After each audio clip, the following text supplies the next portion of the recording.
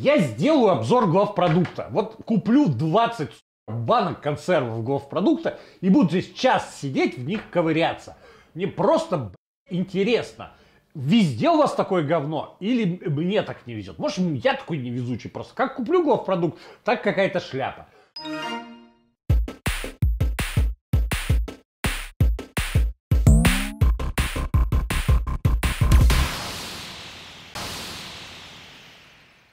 Всем привет, это Василий, канал Завали Едальник, и здесь на этом канале, кто не в курсе, мы пробуем разную еду.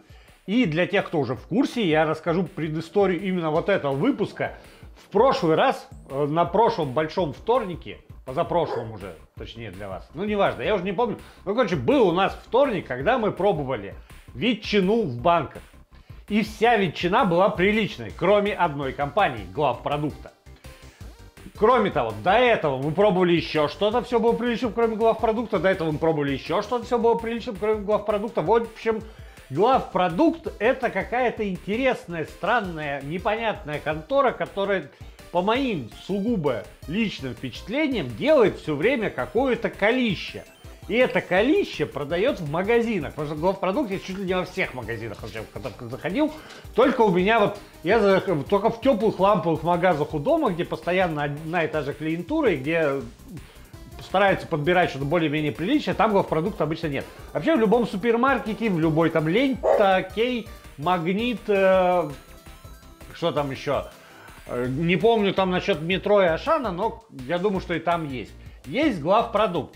Я сказал тогда, бомбанув на эту вот самую э, ветчинку, что я сделаю обзор глав продукта как конторы. И вот я это делаю. Я тогда, правда, сказал, 20 банок куплю. Но у них повторяется. Я подумал, что зачем покупать еще куриный паштет, если есть гусиный паштет. Зачем покупать там перловую кашу, если есть гречневую. Ну вот как-то так я подумал. И э, в итоге 11 банок у нас. Интересно, что они делают вообще все консервы. То есть есть вот овощные, вот есть огурчики. Есть вот э, какие-то продукты разогрел и съел, типа каши. Э, есть э, языки свиные, то есть типа деликатесик. Есть тушенка, шпроты, мясо кур, шампиньоны. В общем, всего до хрена. Огур, голубцы есть ленивые. Тоже интересно. Сейчас мы все это попробуем. И будем смотреть, делают ли они вообще что-то приличное. Короче, я придумал что? Ну как придумал? Супер изобретение, вообще нечеловеческая гениальность у меня присутствует в голове. По левую руку сядут те, кого есть нельзя, по правую руку те, кого есть можно. Вот так мы разделим сегодня агнцев э, от козлищ отделим. Э, интересно, сколько товаров окажется справа от меня. Я вот запасся тарелками, открывашкой, салфетками. Короче, начинаем. Будет, я думаю, интересно. И вот GoPro поставили, ее зовут Юля. Будем, чтобы Руслану не бегать, не снимать каждый вот продукт в отдельности. Мы сюда будем выкладывать и, и посмотрим, чего там можно есть, чего нельзя. Сейчас, извините, я глаза почешу, потому что глаза чешутся у меня. Обливательное ведерко взял? Блевательная ведерко, к сожалению, не взял, но... У меня есть Патрик. А, собака у меня есть, кто опять-таки не в курсе, он наверняка придет во время, э, во время дегустации, но пока вот он сидит возле Руслана, он чешет за ухом, поэтому сюда не идет. Ладно, я предпочитаю, э, предпочитаю, предпочитаю, ну пусть будет предпочитаю, я предлагаю начать с овощей. Мне кажется, они относительно безопасны, и даже главпродукту их особо испортить не удастся. Огурчики, значит, у нас. Огурчики деликатесные, маринованные, главпродукт. Стоит 130 рублей за банку. И это, честно говоря, довольно много, потому что банка-то маленькая. Банка маленькая, а огурцы, получаются дорогие. Маленькие такие, маринованные. И у них все делается в разных местах, я заметил. То есть это не какой-то гигантский завод, который перемолачивает все это в продукцию главпродукта, это скорее вот какая-то сетевая история, потому что вот это Ростовская область, вот это вот Москва, э, оливки, маслины вообще испанские. Ладно, начнем с огурцов. Э, вот, раздвинули, попросил Руслан раздвинуть, действительно плохо видно. Ладно, огурцы. Опять-таки, что ждем от огурцов обычно? Чтобы они не были слишком уксусные, чтобы они не были мягкие, чтобы они были хрустящие, вкусные и э, со специями более-менее в меру было. Так, ну как я и ожидал, открываться не с трудом, но сейчас мы эту проблему решим. Так, огурцы пахнут, пахнут нормально, пахнут уксусом. Достанем, посмотрим. Слушайте, вообще неплохие вроде как огурцы, потому что хотя бы они не мягкие, то есть они тверденькие. Возможно, вот собака, если что. Возможно, с, именно с овощами у продукта все хорошо.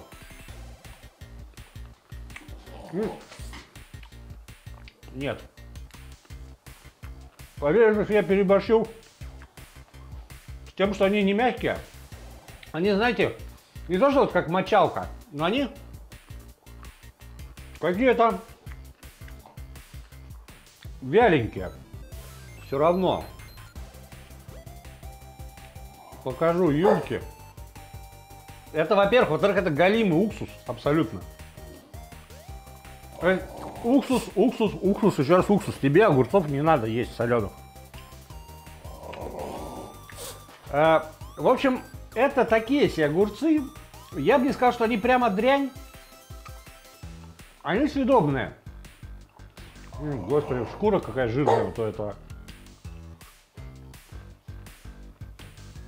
Но, ладно, я их поставлю направо. Но, если честно, их можно есть. Но, честно говоря, есть огурцы сильно лучше. Но это хотя бы съедобно. Уже неплохо. Мы, мы не тут э, не какой-то французский завод деликатесов разбираем. Это главпродукт. Если можно есть, то уже нормец. Дальше, чтобы взять для разнообразия, давайте возьмем паштет. Паштет не простой, а паштет деликатесный, с гусиной печенью. Продукт написан высокого качества. Это очень прикольно, когда на банке производитель может написать, мы делаем, что это продукт высокого качества, чтобы вы там не подумали. Странно, что ГОСТ не ляпнули. Ну да ладно. Так, 315 э, граммов у нас банка. Э, стоит, сейчас скажу сколько стоит, 74 рубля. Ну так-то неплохо для паштета.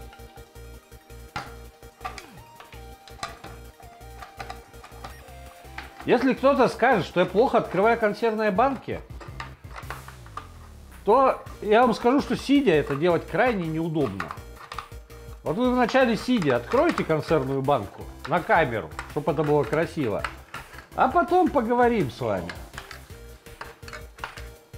Итак, паштет. Вот такой вот он паштет. Ну, знаете, выглядит Выглядит, скажем так, излишне мягким. Ляпну на тарелку его.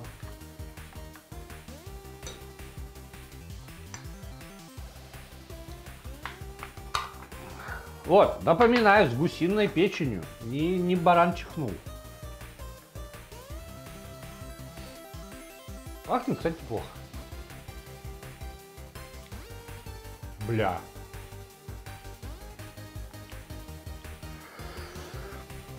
Вот это то, за что мы любим главпродукт. Во-первых, он слизкий. Он вот не как паштет мясной, который все-таки имеет текстуру, фактуру, он просто как слизь. Во-вторых, он отдает какой-то плесенью, вот честно скажу. Очень неприятный привкус. Прямо такой вот плесневелый. Ну и в-третьих, он просто невкусный. Тут чувствуется печень. В отличие от многих паштетов, которые у нас были в рейтинге паштетов, где вообще чисто какой-то вот чисто слизевый продукт, здесь все-таки чувствуется чуть-чуть печенки, но, но это невкусно. И это я есть категорически вам не советую.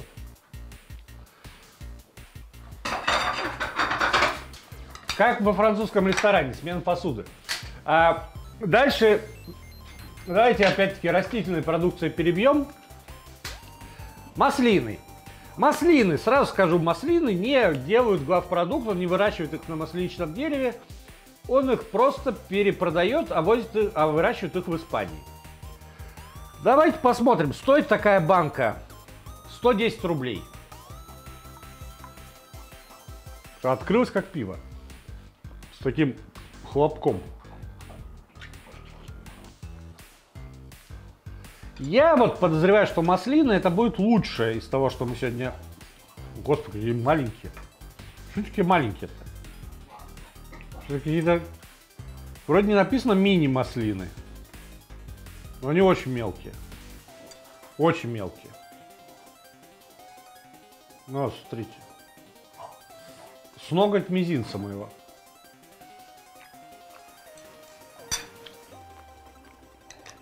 Ну, это неплохие маслины. А что они будут плохие? Главпродукт их практически не касался. Только отметку свою поставил на банку. Ну, я ожидал, что это будет норм. Это норм. Это идет сюда. Дальше рыбки съесть, что ли. Давайте килечку попробуем. Килечка, балтийская обжаренная, главпродукт. Стоит эта радость 60 рублей за банку, то есть недорого, в принципе. Но не сказать, чтобы сильно дешево. Вот тут они разошлись. Наш главный продукт – это качество. Главпродукт. Ваш главный продукт. Не буду никого обижать, а, но из моря в банку. В остром томатном соусе. Кто это для них делает? Это делают в Калининграде для них. Очень может быть, что это неплохо, кстати. Килька балтийская, исключительно балтийская килька. Знаменитого Балтфлота. Опа! Что с килькой? Вопрос какой? Каша это, либо есть какая-то все-таки рыбная структура. Рыбная структура есть. Не скажу, что прям рыб как рыбки, но есть, есть, как, как бы, можно отличить одну рыбку от другой.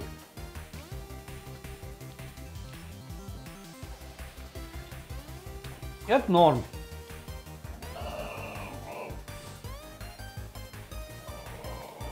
Опять-таки, килька Короче, вот смотрите, ну, вообще, конечно, пере... погорячился за то, что структура какая-то есть. Ну да, каша, на самом деле каша. Это я не вилкой сбил, это вот сверху, короче, три рыбки нормальные, а снизу... И она, короче, обжарена, она херово, прямо скажем, она такая белесая. Но это съедобно, хорошо. Ну, смотрите, пока главпродукт идет от успеха к успеху, от победы к победе. А, что бы дальше взять? Эти голубцы. Голубцы ленивые. Ленивые. То есть там не будет а, завернутых капустные листья голубцов, там будут какие-то либо котлетки, либо просто масса это стоит 89 рублей. 89 рублей. Давайте посмотрим, что внутри. Переверну, потому что банка примятая слегка.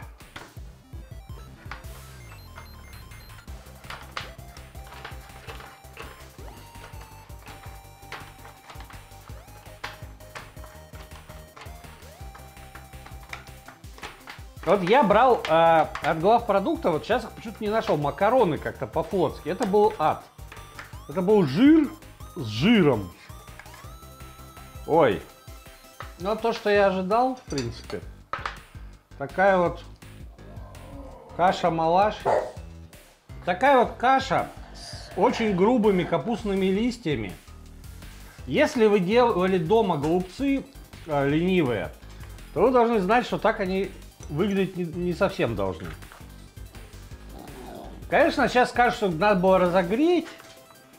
Сейчас попробуем. Если тут прям жир жиром, то мы, конечно, разогреем. Но мне кажется, что разогрев не особо поможет. Это очень плохо. Это. Это очень-очень плохо. И не надо говорить про разогрев. Разогрев тут вообще не поможет. Это масло растительное на вкус. С небольшим количеством томатной пасты.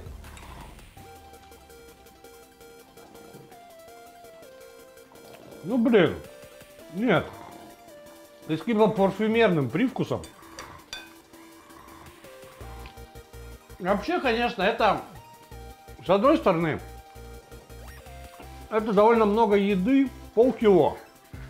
Полкило еды за 60 руб... за 90 рублей. Но, вы знаете, я не готов за 60 рублей платить за такую еду. До свидания.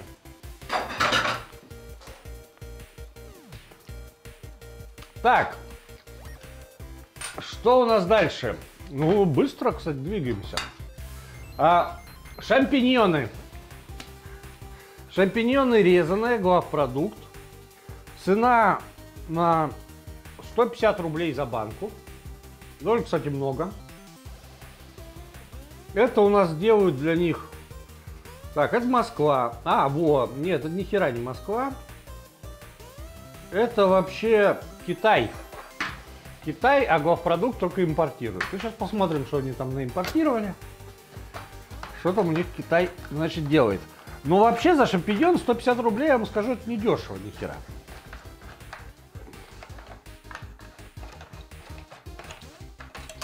После, после голубцов такое ощущение, как будто съел какого-то старого, старого деда, я хотел сказать. Залежавшийся в холодильнике кусок колбасы. Вот, блин. Еще и полил его сверху каким-нибудь каким-нибудь маслом в том же холодильнике, лежавшем полгода. Ну, шампиньоны, что, шампиньоны, они есть шампиньоны. Сейчас под камеру поставлю. Вот высоковато банка, ладно, выложу чуть-чуть. Шампиньоны, они шампиньоны есть. Их порезали, и, собственно, они порезаны.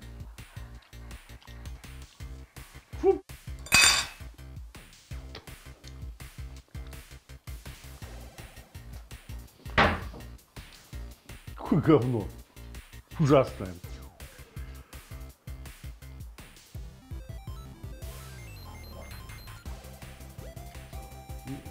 Нет.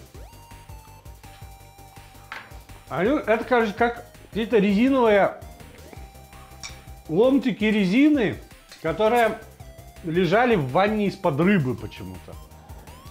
То есть вот тут есть какой-то привкус рыбы, привкус резины. Может, просто вы скажете, вилка в рыбе была? Нет, вот.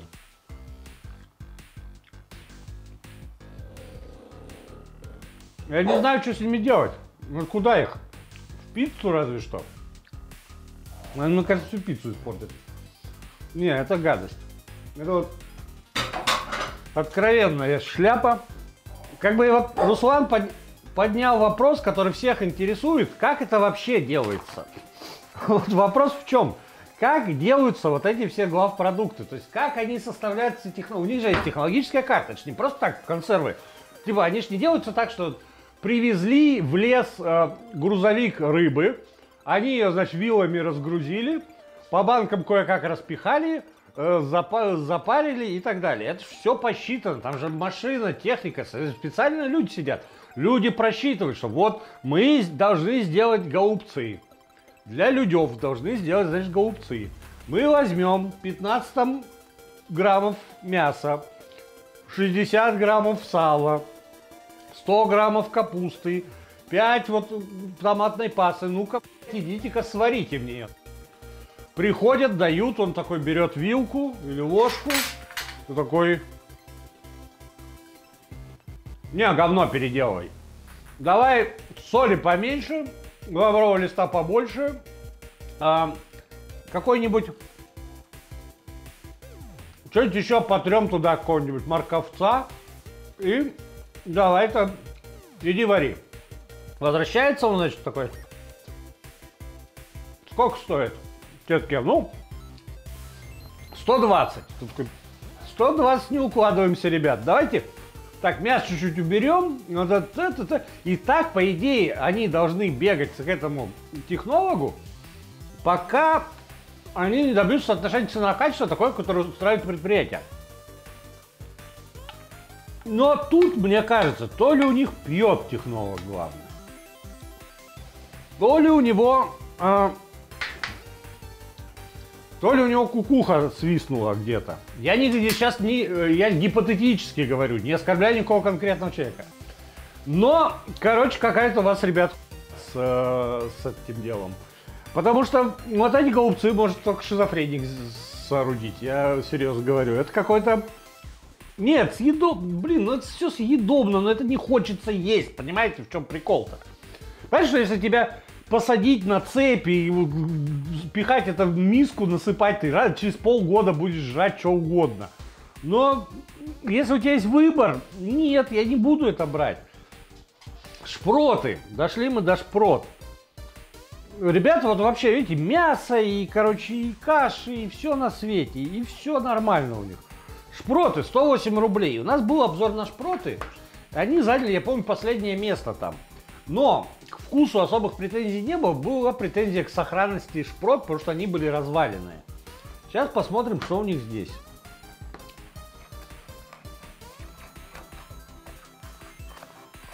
Потому что если там вы могли сказать, что мы что-то раздербанили там за кадром,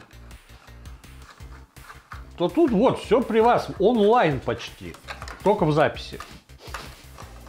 Так как это, как кремлевская пресс-служба, все Перед вашими глазами только в записи. Открываем. О, а это норм, кстати. Видите? Вот, не соврал. Нормальные шпроты. Бледноватенькие, но целенькие. Целенькие шпроты у нас. Нормально. Вот нормальные шпроты. Что, могут же, когда хотят.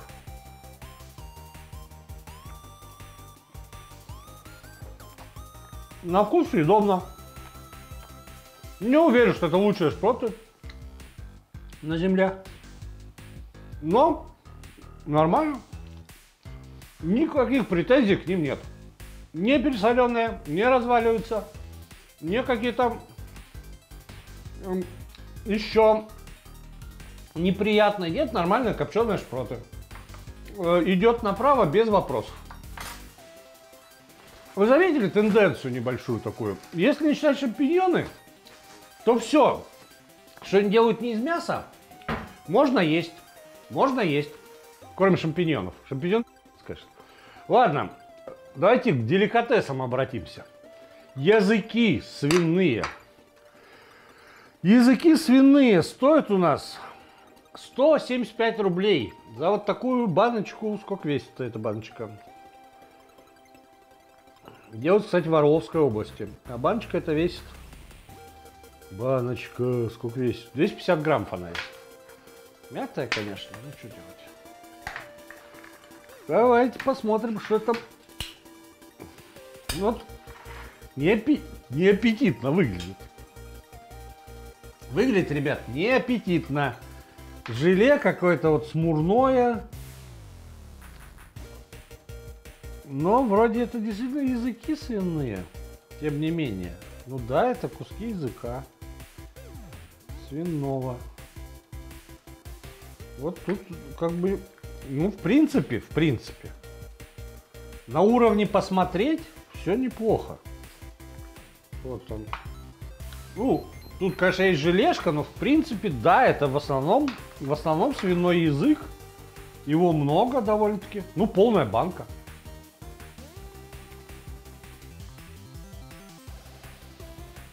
Ну, я ничего не могу плохого сказать.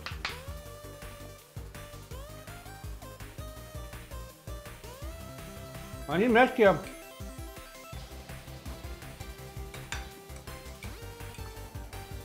Как бы пересола нет, гадости никакой нет. Жил нет, сала нет. Нормально. Нормально, съедобная еда. Вот без вопросов сюда. Вообще без вопросов. Видите, если вы будете говорить, что я какой-то хейтер, то что нормально, то нормально. Все, вот туда сразу же.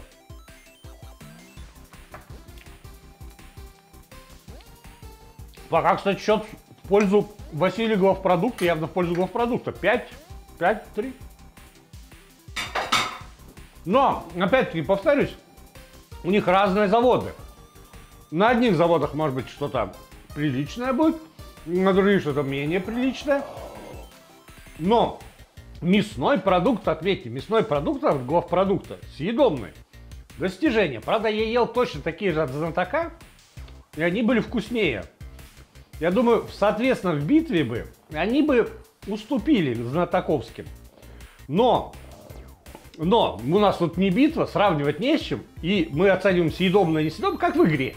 Съедобное, несъедобное. Будешь есть там говны свиные, хоп, поймал мячик, ешь, не поймал, не ешь. Вот я поймал мячик, свиные языки нормально съел. Ой, как мог, я откладывал эту, эту вот, эту вот поделку, потому что это мясо кур за 130 рублей. Акция, причем тут написано. Что значит акция? Акция, что акция? Ладно, акция, значит акция. Какая-то акция, короче, надеюсь, не террористическая. Посмотрим, что там у них за куры такие. Какое у них сегодня мясо. Ой, да. Вот. Вот оно пошло веселье.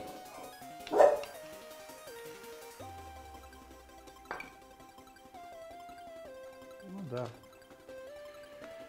Ну да. Нормально. Вот взяли мы полбанки здесь. Полбанки. Ну, не пол, ладно. Нет, полбанки, да. Вы посмотрите, там, конечно, в банке осталось в основном жижа, но там, ну вот, вот все. Вот а половину мы выложили той консервы. А так тут две кости, три кости,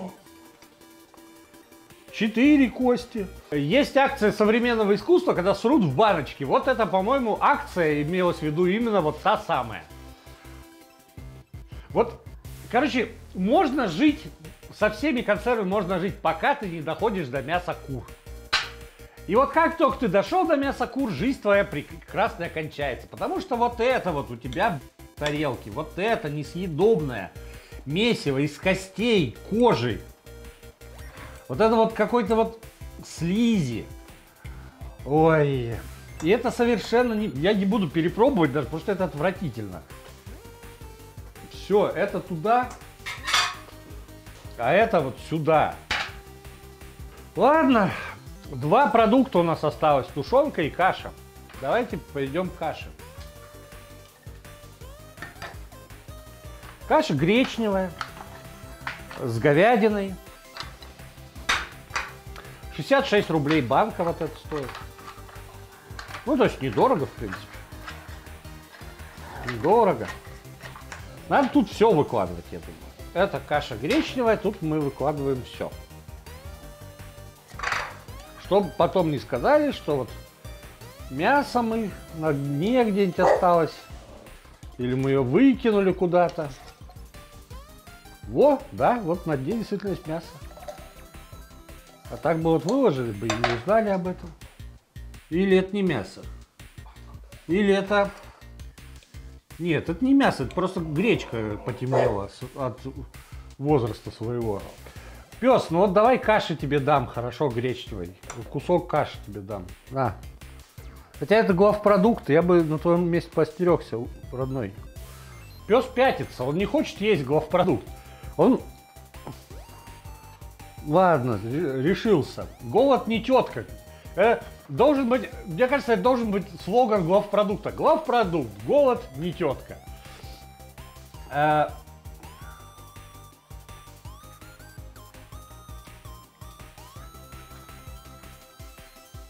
не, там просто гречка.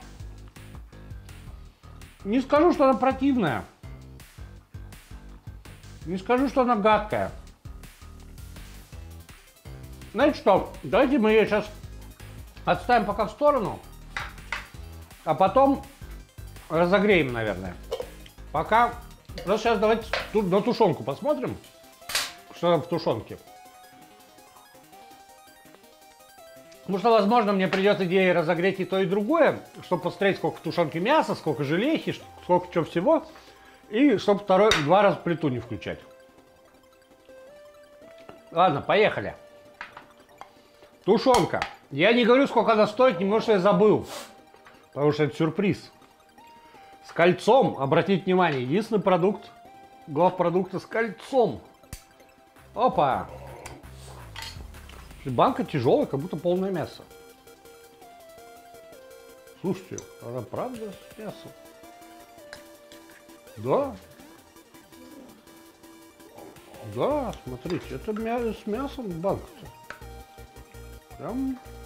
О. Смотрите. Смотрите, смотрите, ребят. Ребят, чудо чудное, диво дивное. Полная банка говпродукта говядины. Прям говядины. Вот прям волокна, смотрите, смотрите. Чудо.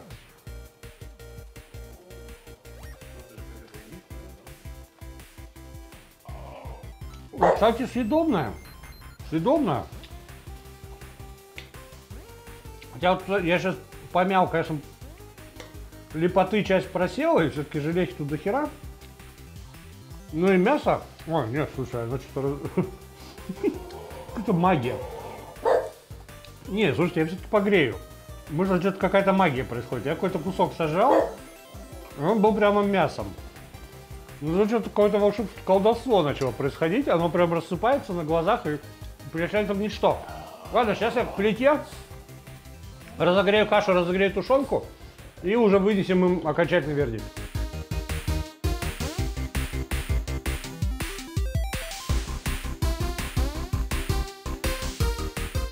Так, вот смотрите. Так получилось, что 80% банки тушенки, а, происх... скажем так, растворилось в пространстве, и получилось у нас вот это. Это тоже как бы съедобно, да, потому что это вот мясо, конечно, все. То, что не расплавилось, это мясо, не жира. Ну вот, есть жилки, конечно. Но, как без них? На вкус такой себе, если честно. Ел я тушенку вот это вообще жила. Вот это жила. Это все, кусок весь. В чем, собственно, шуточка-то тут была? В том, что мы взяли не обычную тушенку главпродукт, а экстра. Экстра. Тут на банке написано экстра. И знаете, сколько стоит это экстра? Ну, вот сейчас на паузу просто поставьте видео и напишите в комментах, сколько вот она стоит, как вы думаете. Вопрос. А я скажу. Отжимаем паузу, то есть вы об этом не услышите. Зачем я говорю отжимаем паузу? Вы же явно не услышите, как я говорю отжимаем паузу. Ладно, похер. Надеюсь, что вы опять со мной. И, э, внимание, цена тушенки вот этой банки, вот это вот, вот это вот, 280 рублей. 280 рублей. Это какой-то, это дико дорого. За, за вот это вот, вот за вот это вот, за вот эту вот кучку мяса. Раз, два, три, вот который я съел четыре. Четыре больших кусочка различных 5, 6, 7, 8, 9 и 9 небольших кусочков. И за жилы, и за желешку. А идите-ка вы нахер с такими, извините меня, ценами, таким соотношением еды и денег. Я ставлю это вот сюда. Да, это можно есть, это не нужно покупать.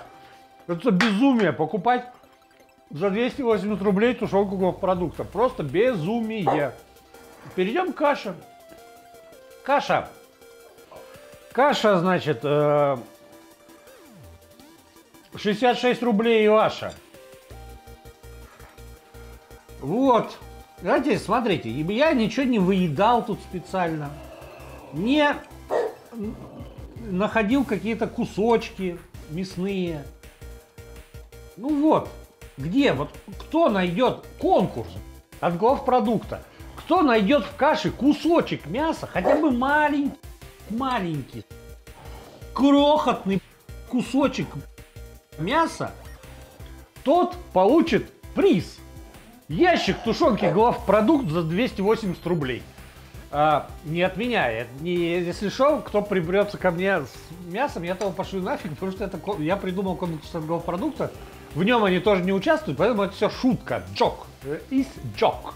Шутко. Если вы по-русски не разумеете. А, Слушайте, пока это было не разогрето, можно было есть. В разогретом виде это приобрело вкус лежало какого-то э, лежал, э, знаете, такой, как будто свечой стеариновой закусил, вот си- откусил гречки, откусил кусок стеариновой свечи. Нет, это я, учитывая набор каш, это я брать не буду. Учитывая, что каш на рынке миллиард. Вот э, такие у нас сегодня результаты тестирования 11 продуктов э, главпродукта. Вот, ну, извините за эту тавтологию, в которой весь выпуск была главпро- продукты главпродукта, товаров главпродукта, хорошо, давайте так скажем. Что в результате мы имеем? 5 банок с той стороны, 5 банок с той стороны. И я подумал, подумал, тушенку поставил посередине, потому что она съедобная, но своих денег не стоит точно. Абсолютно точно. А, а э, но прикол-то в чем? Знаете, сколько в нормальной компании должно стоять банок слева? Ноль! Ноль банок должно стоять слева. Потому что это банки, за которые я дал деньги и получил говно. Банки, которые еда в которых не должна употребляться людьми. Банки, э, за которые деньги выброшены зря. Таких банок вообще в принципе не должно быть в магазинах России. Не, не должно быть, чтобы 50 на 50, норм компания, типа 50 на 50, повезло, не повезло. Лотерея. Нет, такой, вот такой лотереи не должно быть. Должно быть, что ты купил банку, пришел и гарантированно это хотя бы смог съесть. Потому что вот это вот мясо кур, это просто это просто нечеловеческое говнище. Это кости с каким-то слизью, ну, вонью какой-то. Вот эти голубцы, я не знаю, какой мозг додумался из этих голубцов. Это такой ощущение, будто медь за садик. Знаешь, и накрою всех, может быть, попадется та тварь, которая кормила меня в садике голубцами, пальцем мне в горло проталкивая. Сделаю вот это, пусть жрут собаки. Нет, спасибо, я не буду это есть, у меня есть выбор. Я могу купить продукцию другой компании. Зачем вы это делаете? Я не понимаю. Почему в каше нет мяса? Почему в каше нет ни кусочка мяса? Во всей банке каши ни одного маленького кусочка. Жир и то какой-то прогорклый, отдающий старой стериновой свечой. Какой-то просто завтрак Робинзона Круза, который ест сальные свечи, спасенные с корабля, потому что ему жрать больше нечего. Шампиньоны просто адские. Просто адские. Это это резиновая, воняющая рыбой херня. Я их просто выброшу. Я все это выброшу. Но шампиньоны я выброшу с особым удовольствием. Мясо цыплят и шампиньоны. И вот эта слизь просто. Паштет. Тушенка, тушенка, ладно, тушенка, тушенка. Мясо есть, да, ее можно жрать. Но 280 рублей, серьезно. И увидели, что с ней произошло на сковородке. Она просто растаяла. Мираж. За 280 рублей я купил галлюцинацию. Потому что можно есть. Э, огурцы, на самом деле, я вот сюда переставил, потому что они херовые. Они мега уксусные, мягкие и, короче, беспонтовые. Ладно уж, ну поставил туда, пусть стоит там. Да по рассолу видно. Вы же понимаете, что когда рассол вот такого цвета, вот совершенно мутного, значит, что-то не то. Дальше, к оливкам никаких вопросов. К оливкам никаких вопросов. Оливки норм, очень хорошие оливки, только маленькие. Если вам для вас принципиально, чтобы они были большие, то покупайте какие-нибудь другие. Эти, ну, на вкус нормальные. Языки, ну, языки свиные, да. Ну, вот тут как бы, чё, почему? Это какой-то вот луч света в темном царстве. Как будто у них вот этот самый технолог уже вышеупомянутый, безумный, э, слег окончательно в дурку и пару дней за него поработал какой-то его помощник, который сделал нормальные консервы, разработал. Как вариант, я не знаю, что там было, не знаю. Но языки съедобные. Кстати, никаких претензий к шпротам, вообще никаких претензий. Шпроты норм, вообще. Крепенькие, копчененькие, вкусненькие, нормальные шпроты. Килька, ну, килька кашеобразная, честно скажем. Мы ждали что-нибудь поровнее, покрепче, но съедобная, нормальная, томатная паста. Килька. Короче, когда речь заходит о рыбе и овощах, это такое еще может быть, но когда речь заходит о мясе, это до свидания. Потому что кроме языков каких-то приблудных, все остальное, ну это сон дьявола. Это просто какое-то наваждение сатаны. Это не надо это покупать. Я как бы, чтобы главпродуктом мне в суд, не дай бог, не подал. Ничего личного я к вам не испытываю. Это личное мое мнение все. А вы, может, объедаетесь, вы, может, домой приносите голубцы эти детям скармливаете килограммами. Да, потом вы не... Понимаю, что потом вы не сможете спать в старости, потому что будете бояться, что вас удушат подушкой.